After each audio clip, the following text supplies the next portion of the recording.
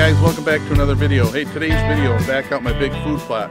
trying to fix this food plot for this year after I had a pretty big weed problem out there. So that's part one, what I'm trying to attempt to do to fix that food plot.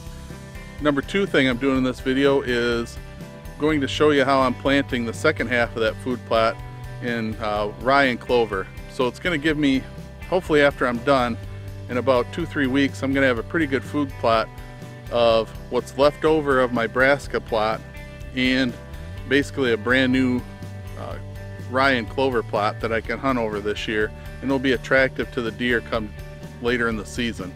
So stay tuned. Let's go out and take a look at what I've done. Okay guys, uh, here we're going to take a look at this uh, big food plot of mine and I want to give you an update on it.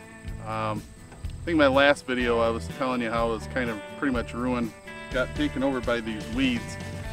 And it, it, it is. It's these weeds have pretty much taken over and stunted all my brassicas in this field. Now the next thing I'm doing I've done is I just went ahead and terminated the field. I sprayed this about four or five days ago with uh, glyphosate. And I don't know if you can tell but a lot of these weeds now are all starting to wilt and turn brown. So what I'm going to do next is uh, go through this thing and and uh, overseed it now with rye and I'm gonna mix in some clover. So what I'm hoping for is this dies down.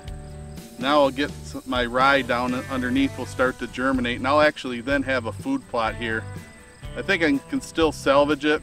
It's a uh, September 17th today.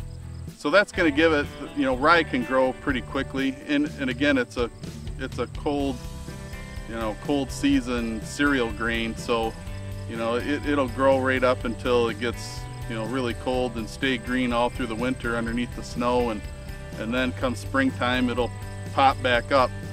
And I think what I'm going to do is then use that rye as a cover crop for next year and just take my cultipacker next year and just roll over top of it as it gets, you know, once it goes to seed or right before it goes to seed, you know, when the stalks are about five foot high.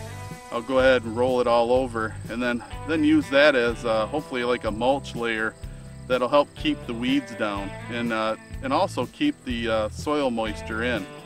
So that's my plan for next year. I think it'll work pretty good.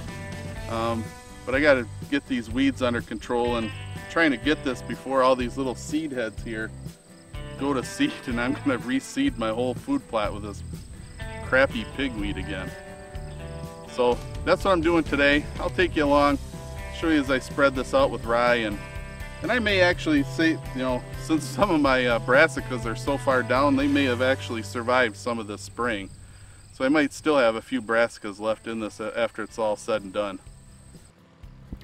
So here in this part of the video, what I'm showing you is I'm prepping the second half of my field here for the rye and clover.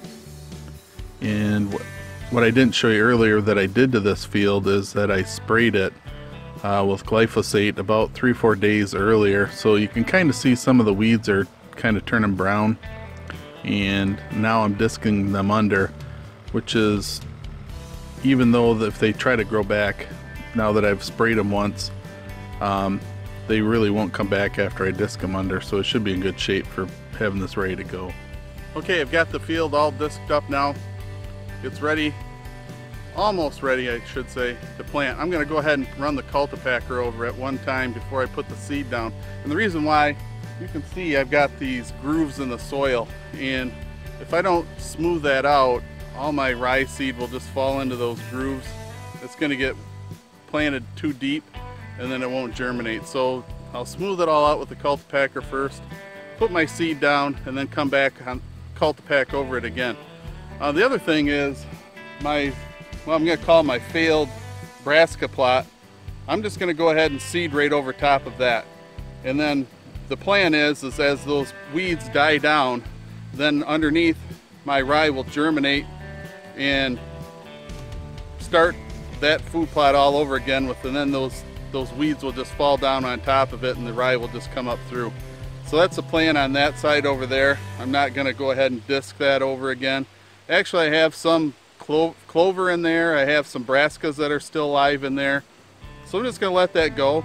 and just give it a little bit more with the rye and a little bit of clover mixed in and see what happens on that side. So I'll keep you in touch as we keep going through the fall here, show you how this thing turns out. Hopefully it turns out much better than that side over there. I think we got a good shot at it. Okay, here I am uh, smoothing out my food plot with a cultipacker. It's a pretty important step here just because, you know, I've got, this is going to firm up the soil to get the get it ready for the seed. And like I said, with the small seed that I'm planting with the rye and the clover, it's pretty important to make sure I've got a firm seed bed before I put that down into the ground. And then here's where I, uh, now I'm cultipacking over top of the seed. I've already got the seed in the ground at this point. I didn't share the video of me spreading the seed with my spreader. Um, but one of the things I did here with the spreader was I didn't calibrate it very well so what happened was I got about maybe about 80 pounds of rye on this half acre so that's probably maybe about 50% heavier than what I should have planted it. It should have been about 50 pounds for this half acre, maybe even 40 pounds for this half acre. So definitely a little bit heavy on my rye seed but in the end it probably will be fine because rye it's kind of like a grass it'll come up and it'll be fine so I didn't have very much clover so that's one thing I will have to come back and add a little bit more clover to this food plot here in the future. And with the clover I can seed that at any time. Um, I can get it in this fall and then uh, it'll come up a little bit. It'll go dormant in the winter time and then come spring it'll it should take right off. So that's something I'll probably do at a later date give it a little bit more clover in here but it should be in good shape come next spring. So that's what I'm doing here finishing up uh, cultipacking and this thing's gonna be ready for waiting for some rain Well, there we go, guys. As you can see, uh, I'm actually pretty pooped out right now. Um, you can tell by the sky. I've been out here um, from the time I started. I've been out here all day. Um, many things uh, which I didn't have the camera for go wrong. You know, got to fix things, got to pick things up, uh, forget tools, you know, those types of things. got to go back and get things. Um, so it's been a long day, but I just finished up cultipacking the, the rye into this field. So this thing should be ready to go. Just need some rain on it now. Hopefully uh, you learned a few things in this video. Like I said, um, gonna try a couple things on the, the brassica plot over there. I did put some rye into that. Uh, as that dies down, we'll see how that goes. Um, and I'll keep tabs on this plot. Uh, there'll be a future video probably in about a couple weeks. I'll give this one to start popping up hopefully I'm going to get rain. Um, that's been one of the problems here lately. Uh, it's even hurt my other brassica plots that had been doing really well is probably gone a couple weeks without any real rain. So I'm kind of dry. Um, you could probably see that when I was uh, going over the field with my cultipacker. There's a lot of dust. I'm probably covered in dust. Um, so we'll see what happens. Uh, need a lot of rain. This time of year we should be getting it. So fingers crossed. Uh, hopefully you enjoyed the video. Like I said, if you like this type of thing, stay tuned, subscribe, um, leave a comment. Let me know if uh, you see something here that I did that uh, maybe I could do better or um, something that you do similar that, uh, that might work for you. I'd appreciate the comments and look forward to seeing you in the next video.